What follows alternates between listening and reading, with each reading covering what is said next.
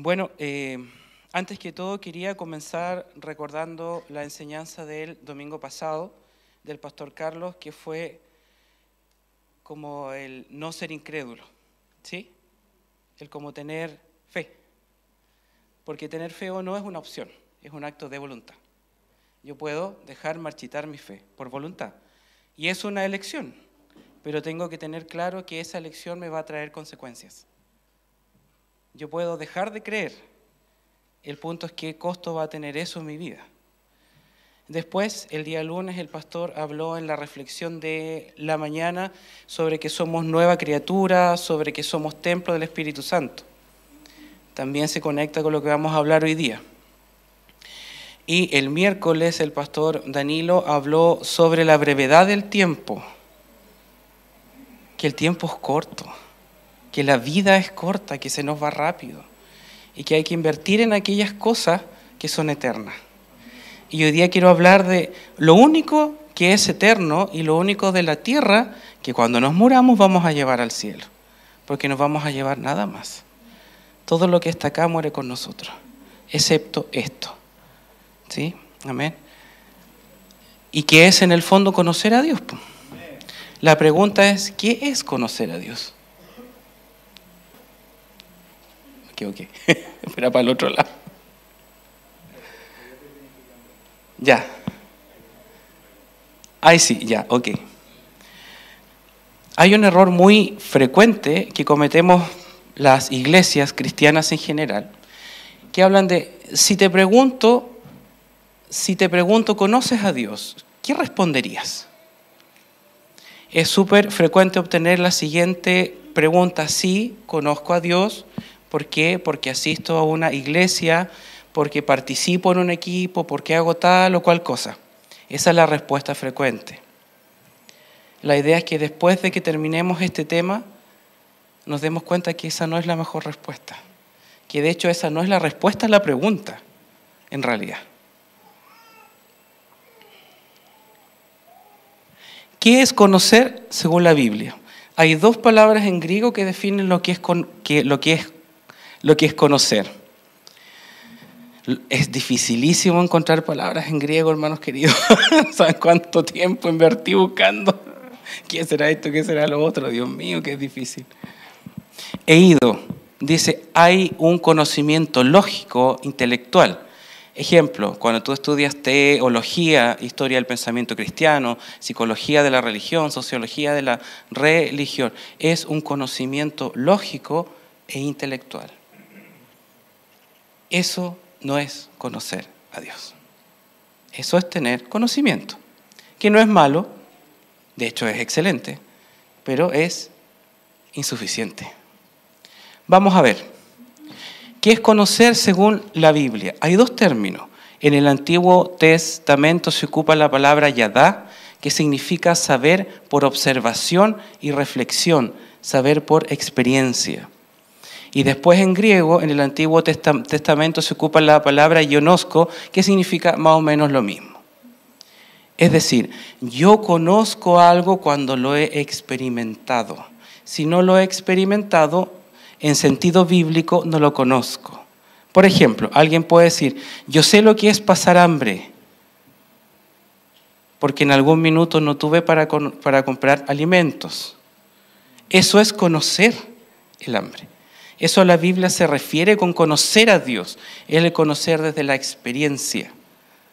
Lo otro es he ido, esto es ionosco. Si nos vamos a la pregunta anterior, la gente me respondería sí, he ido. Sí, he ido. Estoy haciendo cosas, leo la Biblia, he ido, sé algo de teología en mi, en mi, en mi cabeza. Yo he ido a Dios. La pregunta es, ¿yo conozco a Dios? Es cuando tú, tú trabajas con personas te das cuenta que muchas veces te refriegan eso en la cara, pero usted no ha pasado lo que yo he pasado, por tanto no sabe de lo que está hablando. Tiene razón, no lo sé. Yo no lo sé, hay muchas cosas que no he experimentado, muchas cosas que no sé. Pero más allá de eso es que Conocer a Dios, a Dios es un yonosco. Dice, indica frecuentemente una relación entre la persona que conoce y el objeto que es conocido. En este respecto, lo que es conocido es de valor e importancia para aquel que conoce. Y de ahí el establecimiento de la relación. Yo puedo conocer este vaso de agua. Puedo saber lo que es vidrio, puedo saber lo que es el agua, que el agua sacia mi sed pero no tengo una relación con el vaso con agua. No le hablo, hola vasito, ¿cómo estás? ¿Me entiendes? O sea, si pasara sería raro, es que algo en mi cabeza no anda funcionando bien. Pero gracias a Dios todavía no llego a ese nivel. Yo no le digo, ¡ay, mi vasito lindo! No hay una relación entre el vaso y yo. Sé que el vaso existe, sé que tiene dimensiones, sé que tiene textura, forma, color, que contiene algo que me hace bien, sin duda. Pero no tengo una relación con el vaso. ¿Me entiendes? La característica de conocer a Dios es tener un yonosco, una relación. Por eso es que puede haber una tremenda, una abrumadora diferencia entre lo que yo he ido y lo que yo conozco. Puedo tener mucha teoría en mi cabeza, pero haber experimentado muy poquito de Dios. Y lo que vamos a llevar a la eternidad no es he ido, es yo conozco. Amén.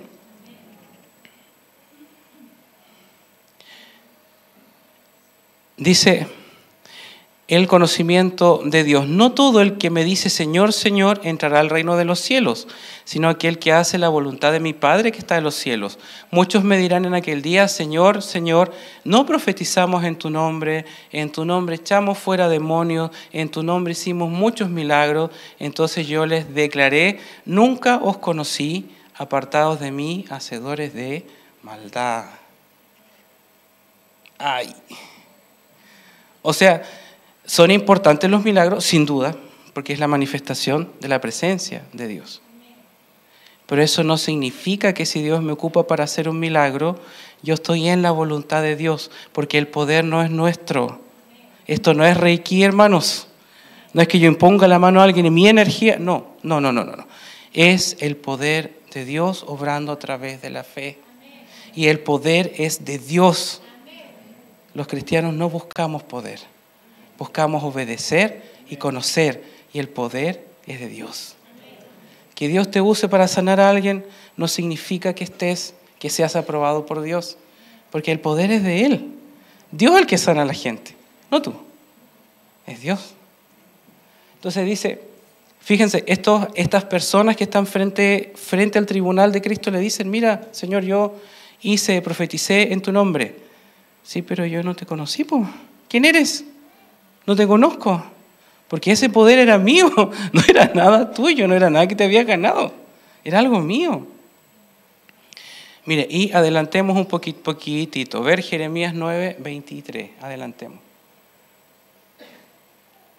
Jeremías 9, 23. Miles de años antes se expresaba la misma idea, porque misericordia quiero y no sacrificio, conocimiento de Dios más que holocaustos en el tiempo en que se sacrificaban animales para el perdón de los pecados. El Señor dijo, misericordia quiero y no sacrificio. Amén. Conocimiento de Dios más que holocausto. ¿Es importante el conocimiento de Dios?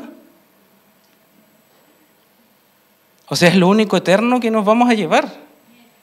Es lo único eterno. Todo lo demás se queda acá con nosotros nuestros afanes, nuestras luchas, nuestras metas, todo se queda acá. Lo único que llevamos es el yonosco. Dice, habiendo dicho estas cosas, Jesús miró al cielo y dijo, Padre, la hora ha llegado, glorifica a tu Hijo para que también tu Hijo te glorifique a ti. Pues tú has dado a tu Hijo autoridad sobre todos los hombres para que dé vida eterna a los que le confiaste. La vida eterna consiste en que te conozcan a ti, el único Dios verdadero, y a Jesucristo a quien tú enviaste.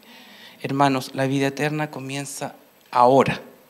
aquí. La vida eterna no es un, no es un nirvana, no es una cosa extraña y que me van a salir alas y voy a estar cantando en una nube. No, no, no, eso no es vida eterna.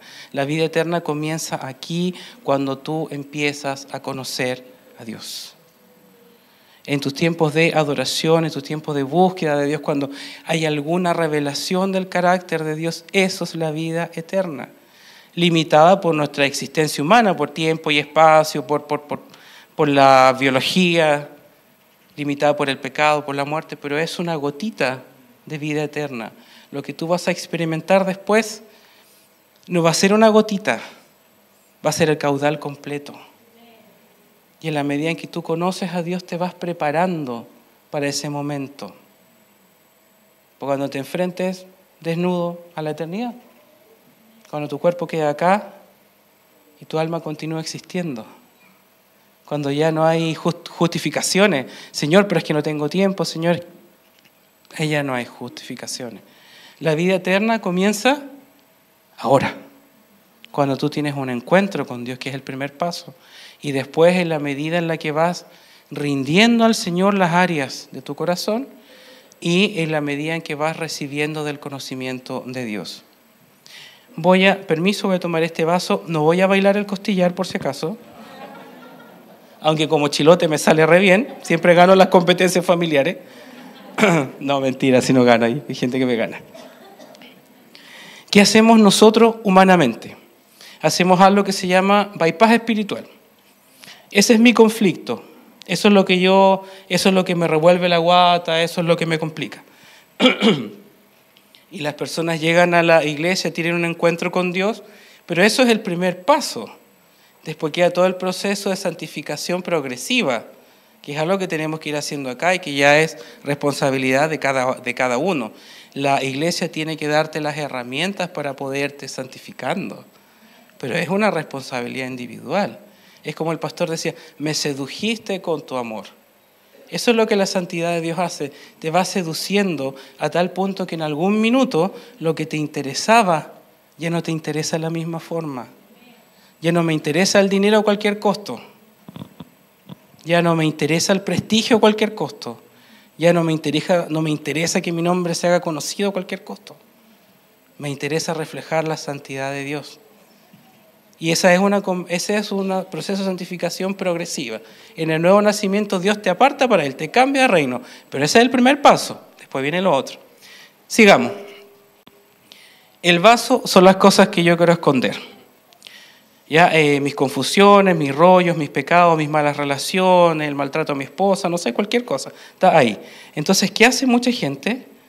Hacen un bypass espiritual.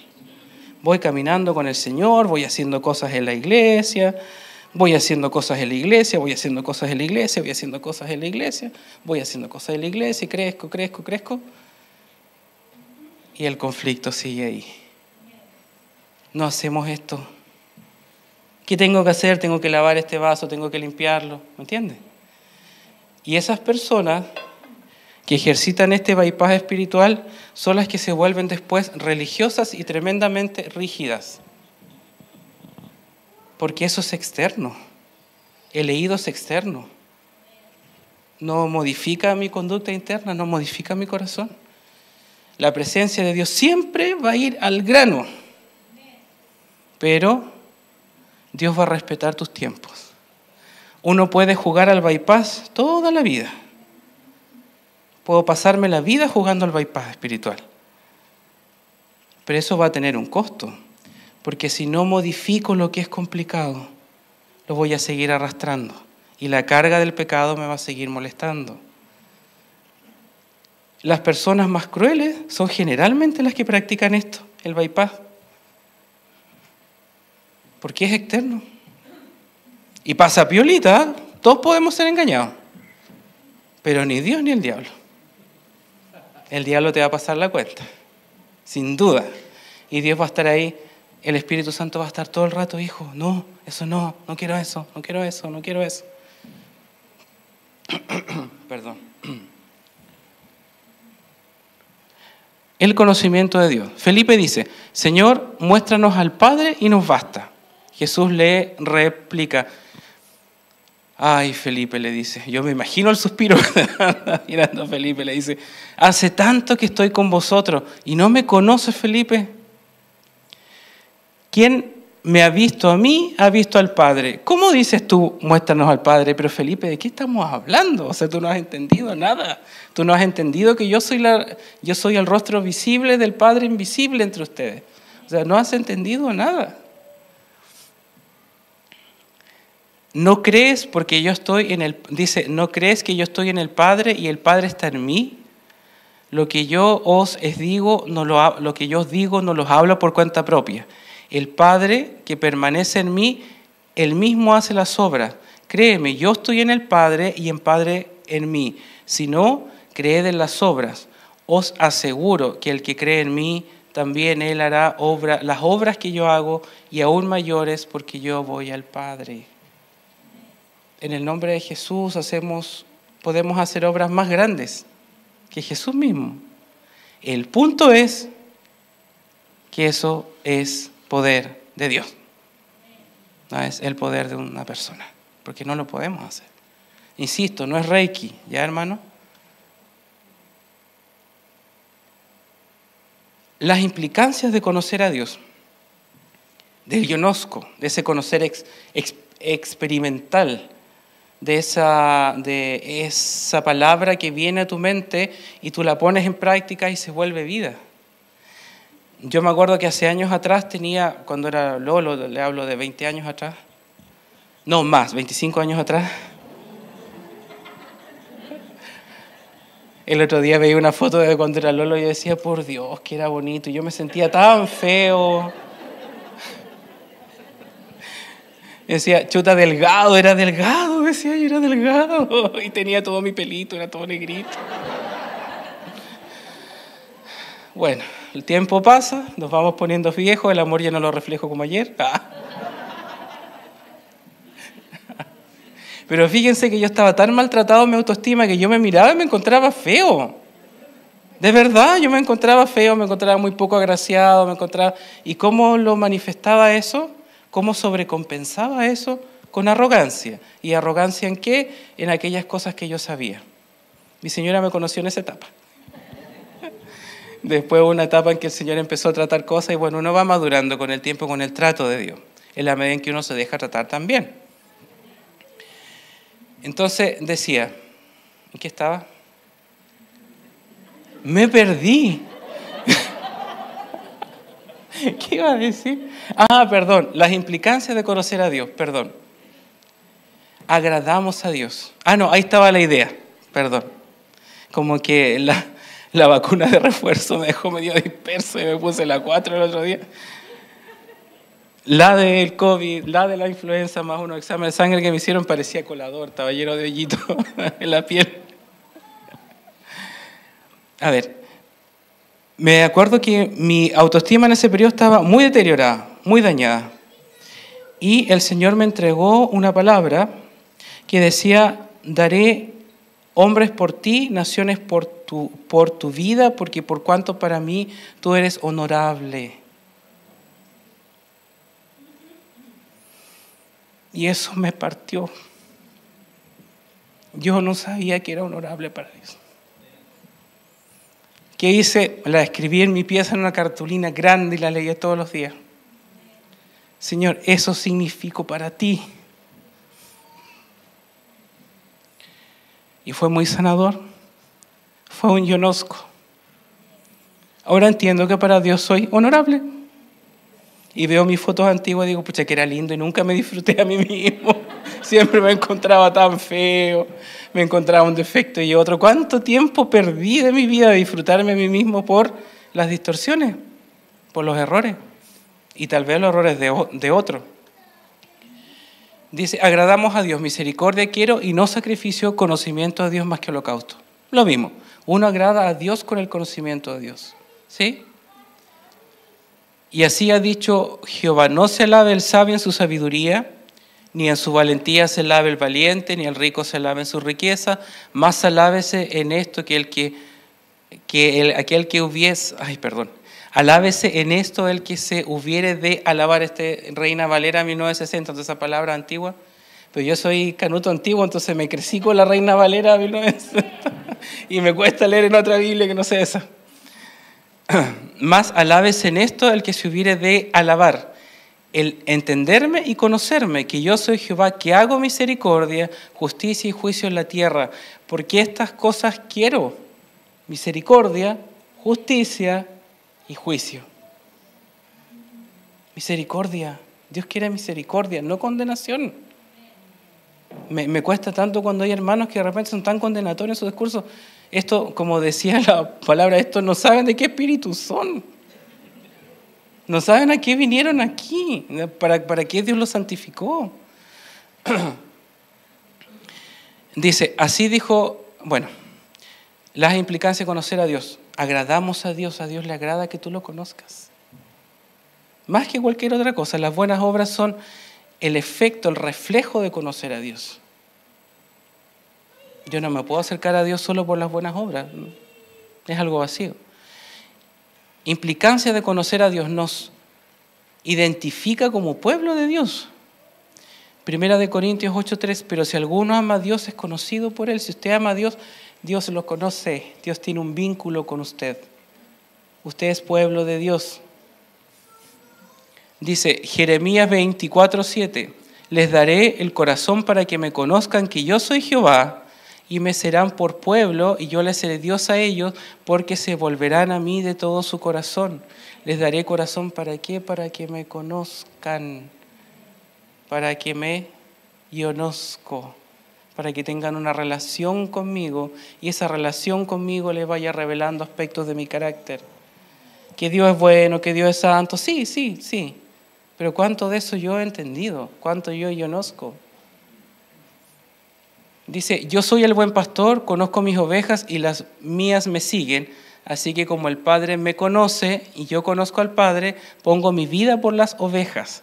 También tengo otras ovejas que no son de este redil, aquellas también debo, debo, debo traer y oirán mi voz y habrá un rebaño y un pastor. Yo me crecí en el campo, mi familia tenía ovejas, entonces cuando tú trasladabas una oveja de un sitio a otro, tenías que abrir el camino, irle, ponerse una persona para que las ovejas no pasen para allá, ponerse otra persona para que no pasen para allá y tú las ibas arreando. Era eso. Tenías que resguardarlas mucho para que no se fueran. Y si pasaban autos en el camino, peor, porque te la podían atropellar. La forma de pastoreo en Israel es distinta ponían en la noche todas las ovejas juntas, de todos los rebaños juntos y de todos los pastores juntos. Y el pastor en algún minuto hablaba y las ovejas que eran de lo seguían. El pastor jamás empujaba a las ovejas. Ellas reconocían la voz. Hay un mito que dice que las ovejas son tontas. Una vez leí un estudio que decía que las ovejas pueden reconocer 250 rostros distintos de otras ovejas y de personas. Las, yo he visto que las ovejas hay ciertos pastos que no comen porque le hacen mal a la guatita. Y cuando están enfermas de algo comen cierto tipo de pasto, no cualquiera. No son tontas. Entonces la gente se ríe de las personas en la iglesia, son todas ovejas, y todo, ¿me entiendes? Las ovejas son inteligentes. Lo que pasa es que su inteligencia está diseñada para estar en comunidad. Esas ovejas escuchaban la voz del pastor, a eso se refiere Jesús. Yo soy su pastor y ellas conocen mi voz, no tengo que andarlas persiguiendo. Si no, no somos ovejas nomás. ¿Sí? Entonces el conocer a Dios nos hace parte del el pueblo de Dios. Si no hay revelación de Dios, si no hay ay, la, si, no hay esta revelación de Dios, en realidad no somos parte de Dios. Porque el pueblo de Dios conoce a Dios. Tiene una relación con Dios. ¿Cómo conozco a Dios? Bueno, primero, renunciando al bypass espiritual. ¿Ya? Eso hay que dejar de hacerlo. Dice, conocer a Dios es un proceso voluntario donde el creyente sujeta su voluntad a Dios voluntariamente. Yo puedo elegir no conocer a Dios, perfecto, sí. Dios te da esa opción. Dios no te va a obligar. Dios no te va a ir a arrear. Jesús va a decir, y si tú reconoces la voz, vas. Dice, es donde el creyente sujeta su voluntad a la de Dios. A la alta, hablando en árabe. Una de las formas de conocer a Dios es la oración, a través de todas sus maneras. Esas son las disciplinas espirituales las que nos ayudan a conocer a Dios. Porque recuerden, es sujetar mi voluntad. Es un acto de voluntad. No es una obligación. La oración, la oración como intercesión, cuando tú te pones frente a Dios para interceder por algo. La oración contemplativa, que es quedarte en silencio para que Dios te hable. Porque no solo es un monólogo, es un diálogo. La oración de alabanza, la adoración. Este punto es interesante y cada uno de estos puntos es un tema en particular. Adoración viene, del griego proscuneo y proscuneo tiene dos artículos y significa besar hacia. Uno besa a, su, a sus hijos, ¿no? Les hace así en la carita. A tu pareja, a tu cónyuge, a tus familiares, a tus papás. Hay una relación de intimidad. Proscuneo. Besar hacia. Adorar es intimidad. No es solo cantar. Yo puedo cantar en piloto automático, sin duda. Pero proscuneo significa besar hacia. En Roma se tradujo como adorare.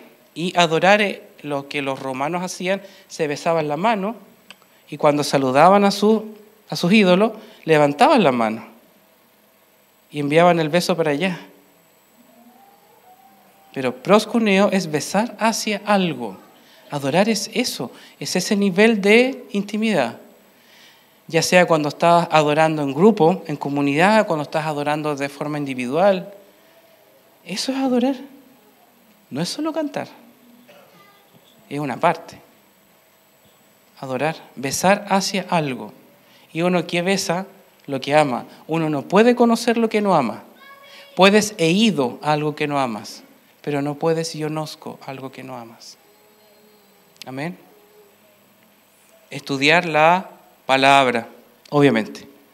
¿Cómo se revela Cristo? A través de la palabra, a través de ninguna otra cosa. Hay gente que superpone sus experiencias subjetivas a la palabra y eso hace que terminen, no sé, inventándose una secta, armando una cuestión muy extraña. Mis experiencias personales, si están en Cristo, van a ser concordantes con la palabra y no van a ir contra la palabra. Hay gente, yo he escuchado a gente en otras iglesias que dice, es que el Señor te va a mandar un castigo y te... A ver, eso no es bíblico. ¿Por qué no es bíblico? Porque la Biblia dice que la profecía tiene que tener tres componentes. Primero, exhortación, que Dios te indica lo que estás haciendo mal. Otro es consolación, que Dios te dice, ok hijo, pero te amo. Y edificación, que te dice cómo salir del error. Si una profecía no tiene esos tres componentes, no es de Dios, es solo una palabra humana hay un hermano que está picado con el otro y se levanta Señor te va a partir con un rayo. Gracias a Dios eso no ocurre acá.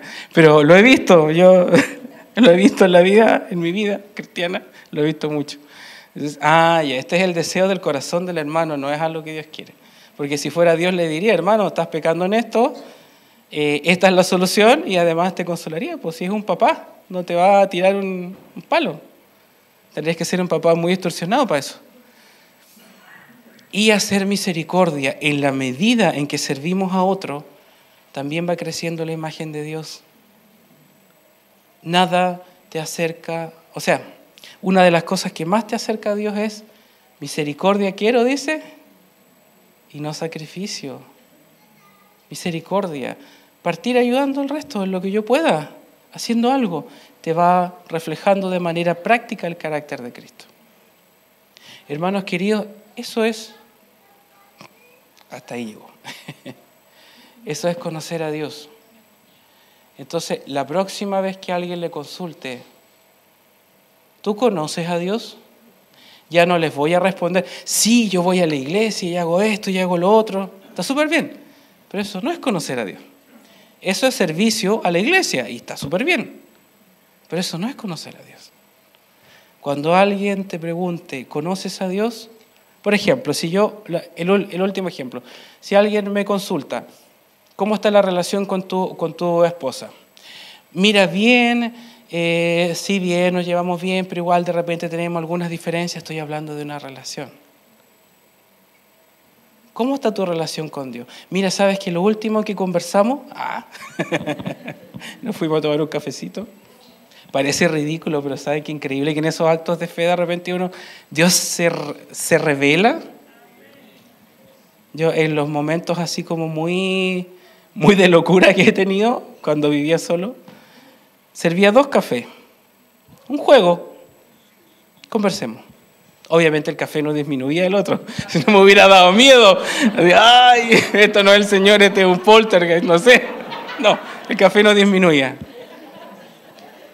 Pero en ese acto simbólico, la comunión con Dios era maravillosa.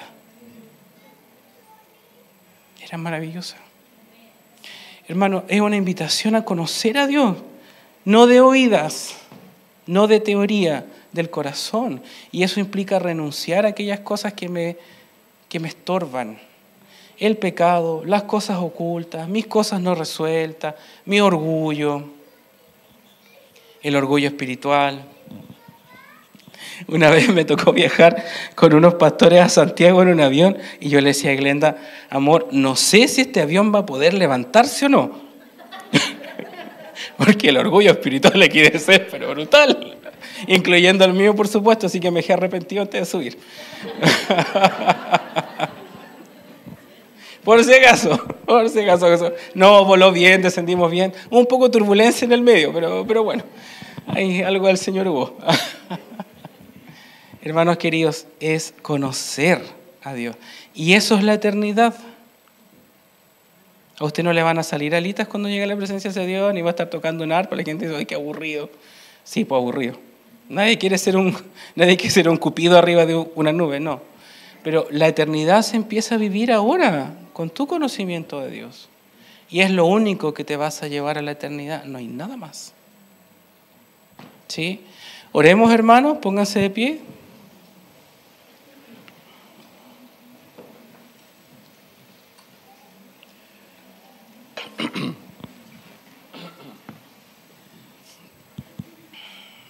Señor, queremos darte gracias por este tiempo precioso. Queremos darte gracias, Señor, por la oportunidad que tú nos das de conocerte. Eh, no de conocerte solo desde lo intelectual, sino conocerte desde la experiencia, Señor.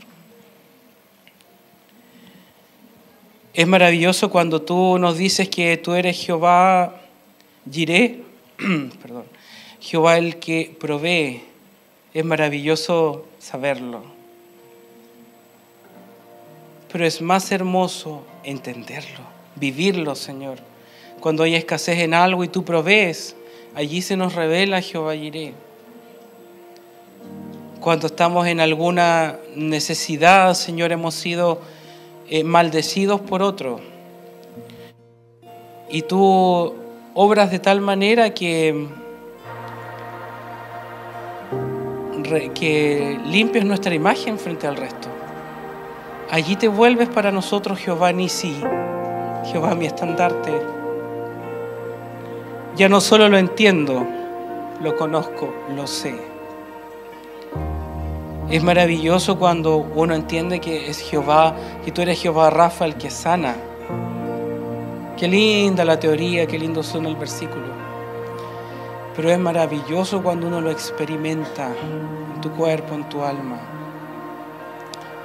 Señor, yo oro que despiertes en nosotros como comunidad el deseo de conocerte de verdad, Señor. No de desgastarnos en obras que sin duda son buenas, pero que no son eternas, Señor. Lo eterno es conocerte. Señor, yo que pongas en nosotros ese espíritu de querer conocerte, tu justicia, tu amor, tu poder, tu honra. Que tú pongas, Señor, ese deseo de conocerte. Sí, Señor.